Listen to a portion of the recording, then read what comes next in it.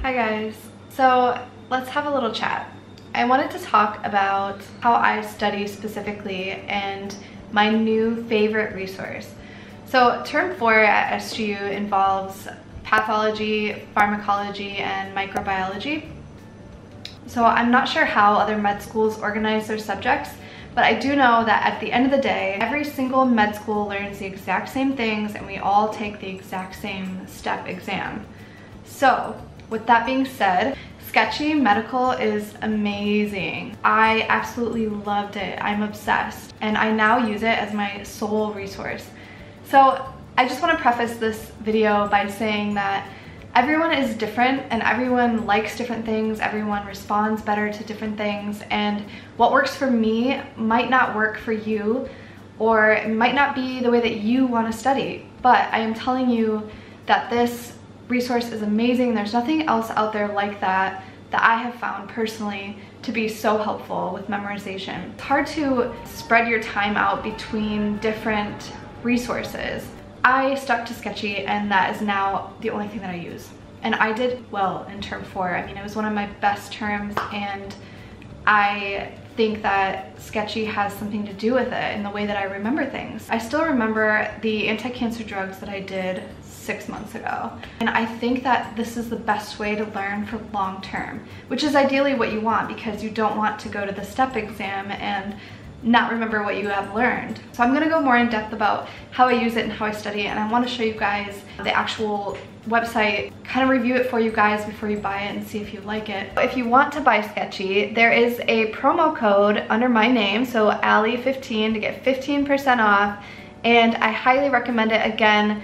Um, you can use the promo code and save a little bit of money. It is an investment, but it is going to help you in the long run. Okay, so when you buy Sketchy Medical, you will log in, you will see this dashboard. So um, this is the study portion of Sketchy. So you'll have three different uh, courses. You'll have micro, pharm, and path. So I just wanna show you the micro one first. So you click on the micro and they are all organized in different categories. So you have the bacteria, fungi, virus, all those kind of things. So if you click on the bacteria one, for example, they're also subcategorized even further. So you have gram-positive cocci, gram-positive bacilli, and you have um, gram-negatives, and so on. And they're basically every organism that is high yield, every organism in general is on here, and they all have a video. So it's super helpful. They also have parasites, which I know are the death of a lot of people. I hate parasites specifically. I know a lot of people do because it is super hard to remember all the crazy names and all of their modes of transmission and their infective um, forms and all of that kind of stuff. So Sketchy actually has videos for those which I find super helpful to remember all of the parasites. Um, I also like that the videos are short, so if you can see, they're like four to six minutes. Um, a lot of the sketchy micro videos are kind of short, which makes it easy to get them done in a good amount of time. I want to show you one of my favorites, which is the strep pyogenes. Strep pyogenes here is illustrated by the Pie Genie's Bakery. So there's a lot of puns and sketchy, and it makes it very fun. If you click on the video and you click play, you will see here that they have all of these different timestamps. You can um, scroll over the timestamp and it'll basically tell you what they're talking about in that specific time. And if you're, you know, unsure of a certain area, you can fast forward to it and click over it, or you can rewind and watch it again. So here you have the pi, the pyogenes, and it's encapsulated. Here's a beta hemolytic sign, and trust me, I remember this all the time. This gets me so many questions right. If you could just remember that little light bulb, that's a symbol for beta hemolysis. Um, so then it talks about the different things that strep can cause. So as we know, strep can cause a lot of things like strep throat. So here you have the little necktie that's gonna represent strep throat. In almost all of the sketchy videos, if you see that, you know that you're dealing with a strep bacteria. Um, there's other things that strep can cause, as we all know. It can cause rashes, um, it can cause necrotizing fasciitis, which is represented by the burnt little gingerbread man here. Um, it can also cause toxic shock syndrome, which is illustrated by the cape that has a little shock on it, um, which I think is very cool. So if you fast forward, it also talks about the treatments for all these microbacterias. Um, so here you have the pencil, which represents penicillin in every sketch. So honestly, we are learning antimicrobials right now and I can tell you that I remember how to treat certain bacteria just from watching these micro videos uh, last term. Every time you see a pencil, you know that it's penicillin that's used to treat it. So I think it's kind of cool how they incorporate the treatments in here as well. And another thing is that they include the virulence factors. So virulence factors are super tested on in micro and they're super important to know. So here you'll see that they have streptolysin O. The ASO titers are super important for strep because it can cause rheumatic fever. Also there's DNase, which is a virulence factor, which are by these DNA shaped donuts. Or If you scroll down, you can see that they have the full picture of the video and they have what the symbols mean so you can click on them and see what they represent. So let's move on to Sketchy Pharm. I just want to show you guys a little bit of this. So Sketchy Pharm is super helpful because as you guys know, there are a lot of drugs to memorize and it is not easy. So here, for example, is the list of drugs that we have to know for term five. So all of these drugs, um, we will be expected to know in six weeks. Basically the names of them, how they work, their mechanism of action, their uh, adverse effects, pharmacokinetics, all of this stuff. And it is super hard to do. The names of these drugs are crazy. I don't know who came up with them. Sometimes I wonder why people name them the way they do, but you have to know them and they are very, very important. If you click on a section like the cardiovascular uh, drugs, for example, they're organized even further. So you have heart failure drugs, diuretics, your blood pressure meds, um, and then one of my favorites I want to show you guys is the antiarrhythmics. Highly, highly recommend these.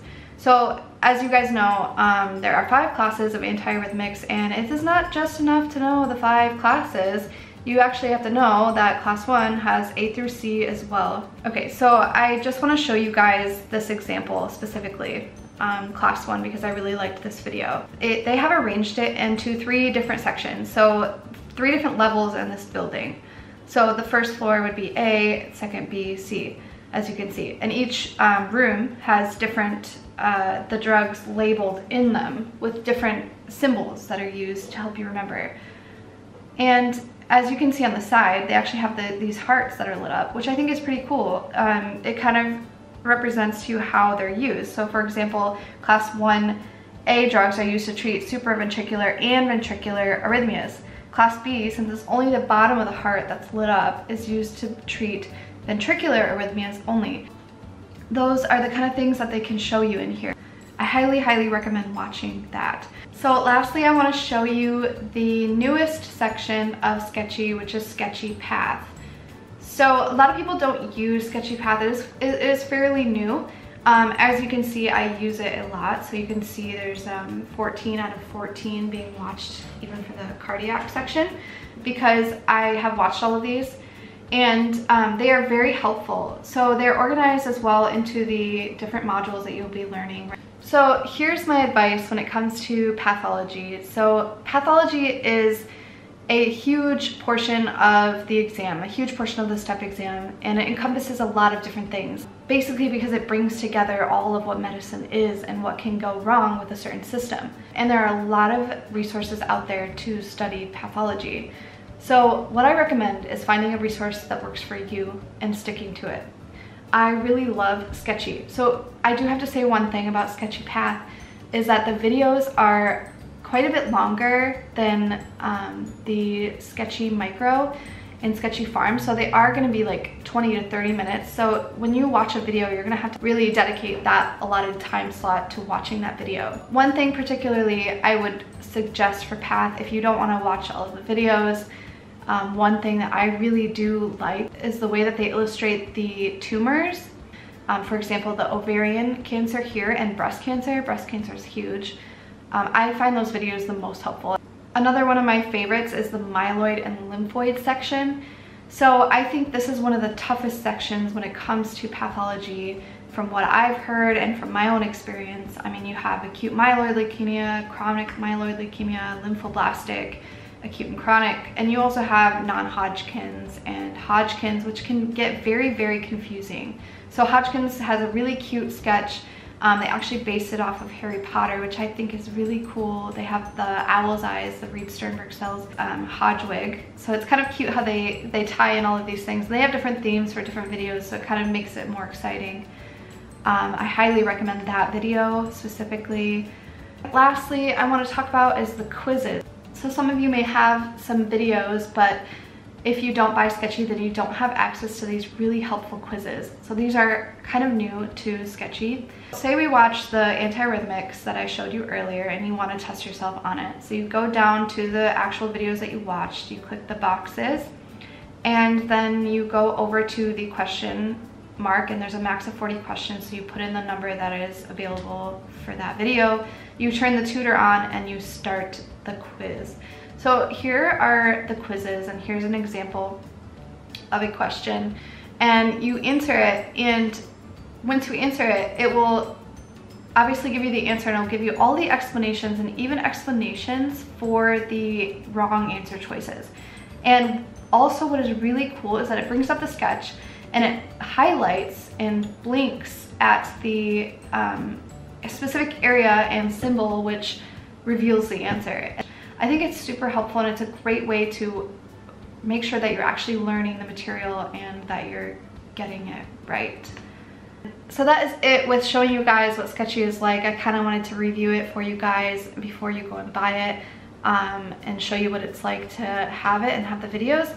So um, if you guys don't think that I use Sketchy, I mean, just look at all of the things that I have already done with Sketchy what I actually do is I screenshot the sketches after I've watched the video, I print them out and I put them on a note card. And when I look at my lecture notes, I look back at these sketches and I actually take notes on some of them. These are all of my printed out sketches from last term alone. I've watched all of these and I have taken notes on them and I'll show you guys like some of them I write notes on. It is important to go back and look at your notes and make sure that you're getting all that information and just use this to supplement because it is a great memory tool.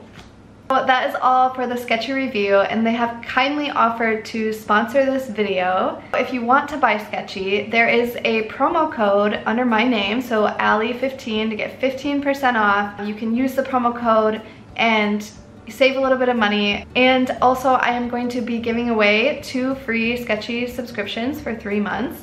So if you comment below your favorite Sketchy video, I will pick two winners to receive the free Sketchy. So I hope you guys liked the video. Give it a big thumbs up if you liked it and don't forget to subscribe.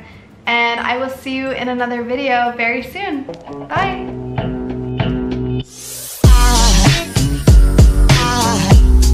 cause aside from my soul